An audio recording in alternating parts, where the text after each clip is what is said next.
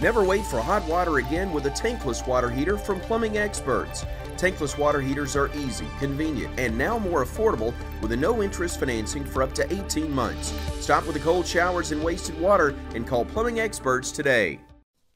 It's the Weather Xtreme video. This is for Friday, June 14th. I'm James Spann. Dry weather continues across Alabama today, but moist air comes back Sunday with a chance of scattered showers and storms by then. Let's check things out this morning. A very deep upper trough over the eastern states. That's the reason it feels so good. Yeah, look at the numbers. Cullman 50. These are at 430. Inevitably, we're going to hear of some upper 40s in some of the colder pockets. Fort Payne 51, Haleyville 52, Gadsden 53. It'll be a bright sunny day today with highs up in the mid 80s. The humidity will stay low. Very quiet around the nation this morning. That's the watch warning map. Later, severe storms possible for parts of the Great Plains down into West Texas. Tomorrow, again, the chance of severe storms out across the heartland. Maybe a few scattered storms for the southwestern part of the state. Then on Sunday, day three, a risk of severe storms from North Texas up to near Pittsburgh and close to Washington, D.C. And again, for us, no severe weather, but there could be a few scattered storms statewide on Sunday. Rain amounts. Heavier totals a bit north of here, but the numbers are coming up across our state. Rain for the next seven days, one to two inches for the north, one half to one inch for the south. And a quick peek at the tropics. Let's not forget this is hurricane season. Things are very quiet across the Atlantic basin. So, model fans, let's go. Here's the GFS. This is the 06Z run at 4 o'clock this afternoon. Troughing rotating through the northeast. And again, today should be sunny.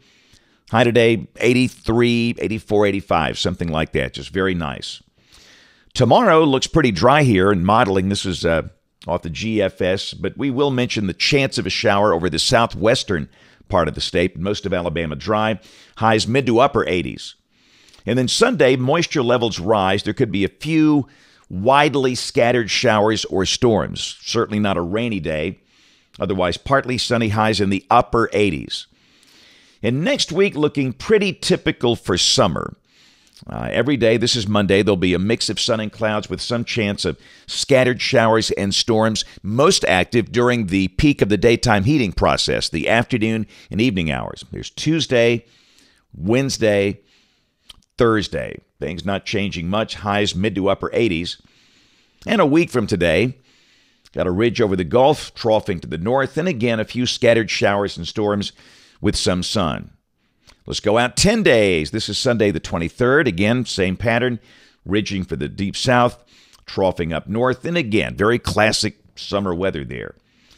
This is the expected rain coming off the European ensemble.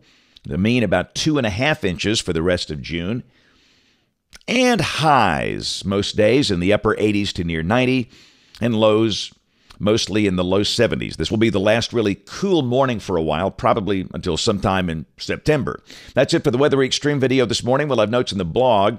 I'll be out doing a live shot today, so no afternoon video. But if you can catch us this evening on ABC 3340 News at 4, 5, 6, and 10 o'clock. Thanks for watching. Have a great weekend, and God bless.